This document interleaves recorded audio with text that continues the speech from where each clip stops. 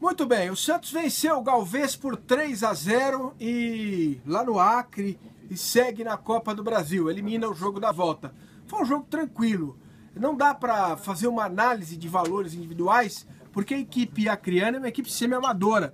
Jogadores que são é, jogadores de futebol por seis meses, depois cada um tem sua profissão, um é policial militar, o outro é frentista, e todos dignamente representaram o estado do Acre num jogo muito interessante com o Santos. Bem jogado, sem pancadaria, sem confusão. O time do Galvez tentando marcar os gols, tentando chegar, mas o Santos foi aos poucos criando as chances e fazendo os gols. 3 a 0, os eh, reservas do Santos venceram. Não dá para dar, assim, para deixar um destaque importante individual do time do Santos, porque o adversário realmente é muito fraco. O Santos perdeu dois pênaltis.